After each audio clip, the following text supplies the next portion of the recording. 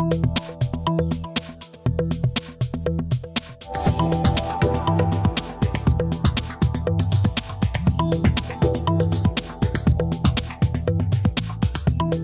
Schnell, we're standing in front of a Soviet era MIL Mi 2 helicopter here in the United States, and it's a working aircraft. Tell us about this aircraft and what you do with it. So, this helicopter, like you said, is a hoplite. It's the uh, NATO designation. It's a test bed for us. We test brand new, cutting edge avionics, things that allow helicopter pilots to see in degraded visual environments we have set it up in such a way that we can test new concepts very quickly in the early design stages rather than waiting too long. We can go and fly them very easily, fly sensors in all sorts of weather conditions, and then change software or symbologies accordingly and go into production with a system that we know will actually work in the real world in real conditions. Give us some specifics about some of the equipment you have. I know there's a LIDAR, there's a lot of different very high tech things on this aircraft. What do you have and what are you doing with them? So, kind of doing a round through the cockpit uh, in the instrument panel, you will find a Blackhawk glass cockpit. It's a Collins Aerospace MFDs, they're called MFD 268s. There's also a data entry unit, a DTU, and a data loader cartridge, just like you would find in a Blackhawk. So it's guaranteed the only Mi2 in the world that has a Blackhawk cockpit. And that opens up a lot of capabilities in terms of connecting sensors that provide imagery or uh, point clouds to the glass cockpit. But then, in addition, and I didn't bring the helmet with me, but we have a helmet display that you can plug in, and it too becomes a display surface wherever your head is moving, we're tracking the head movements and then we put graphics into the display commensurate to what you would see out the window if you could see. So think of uh, yourself flying in degraded visual environments like even nighttime or in fog. With that helmet display, you're now overlaying symbologies of obstacles, power lines, towers, the landing zone, waypoints, all sorts of things that could ruin your day or that you need to go and land and complete your mission successfully is now literally in front of your face, much like an Iron Man mask. Uh, so we augment reality with that helmet. Kind of in the middle section of the helicopter, you see a rack full of equipment.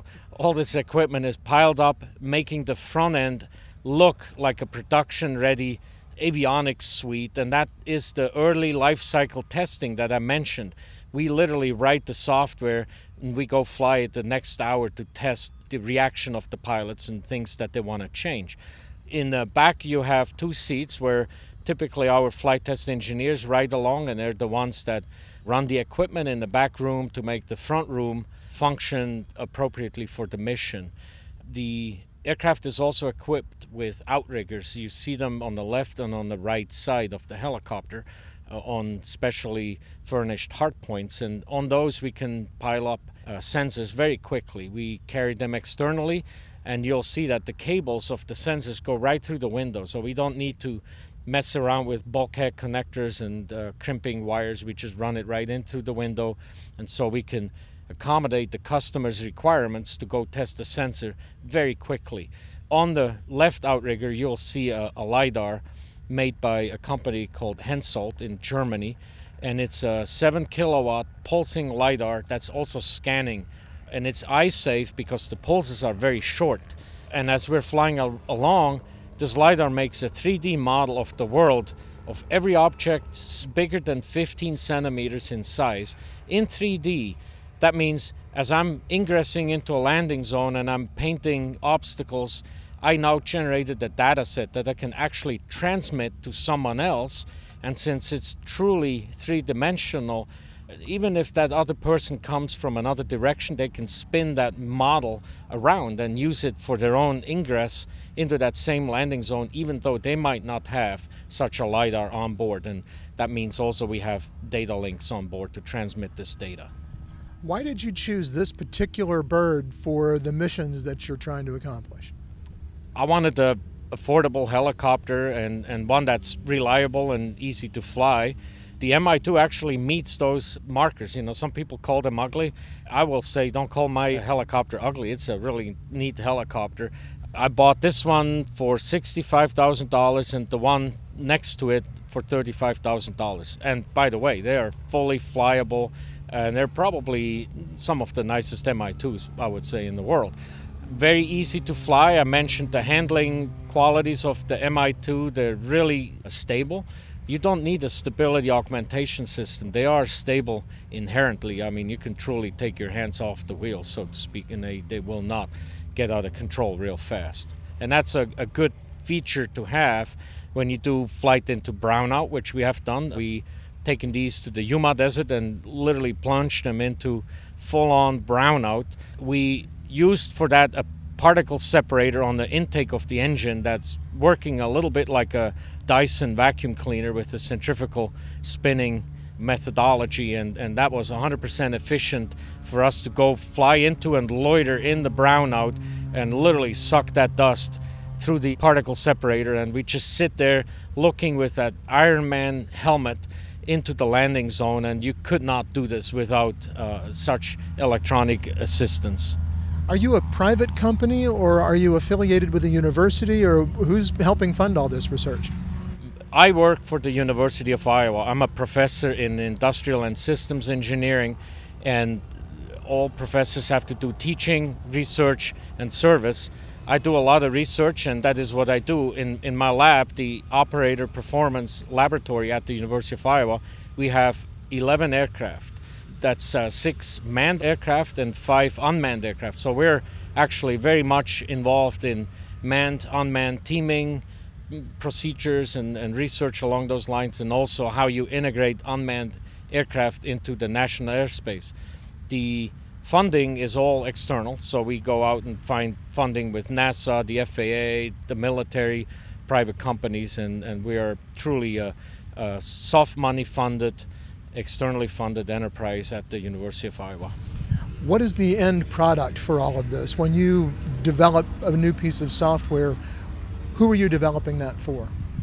Well, I can give you one example that I feel is a really good uh, success story in probably 2004 to 2006, we developed software, a synthetic vision system that we brought up here to Oshkosh, showed it in the NASA pavilion. Some people showed up and were interested. We sold them a license to it, and that company is called Dynon, and it became Skyview. Uh, it makes me extremely proud to see how they took our product, a, a, research output product, and turned it into a, an extremely viable uh, system that you probably see in every other airplane you walk around here at, at the uh, AirVenture has a Skyview system in it. So that that would be one way uh, that we might have an actual software product that you can transition into a commercialized uh, platform. Sometimes it's just a concept of operation. We, we go out and we figure out a new symbology for example, we have fighter trainers that have an F 35 helmet integrated to it. Guaranteed the only L 29s with an F 35 helmet, and we study symbologies for F 35 pilots because you can't easily do that in an actual F 35. So, in, in that way, our test beds support difficult questions that avionics designers and sensor uh, manufacturers might have towards integrating into avionics.